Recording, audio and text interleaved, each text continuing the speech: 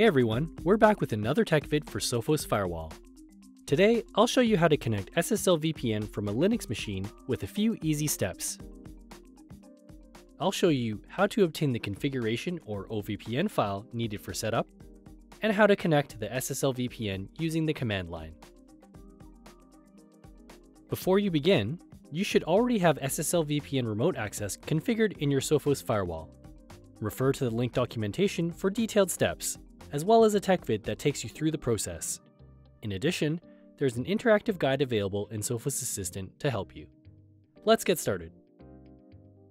First, I'll obtain the configuration or OVPN file which is needed to make a connection with the SSL VPN. You can get this directly from your IT admin or download it yourself from the VPN portal, which is what I'll demonstrate. Go to the VPN portal and log in with your credentials.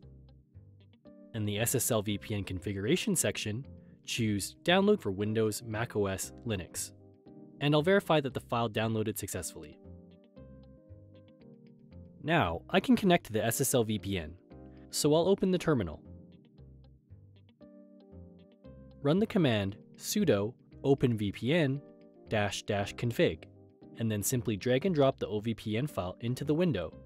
Alternatively, you can type in the exact file path instead. Then hit enter. I'm prompted to enter the password for the machine. Next, enter the login credentials for the SSL VPN and it will begin to connect. Once the connection is successful, you'll see initialization sequence completed, and you're ready to go. Keep the window open for as long as you wish to stay connected. Closing the window will sever the connection, so make sure you don't close it by mistake. When you're ready to disconnect the VPN, simply close the terminal window or hit Ctrl C on your keyboard. And that completes the configuration of SSL VPN in Linux. I hope you found this useful.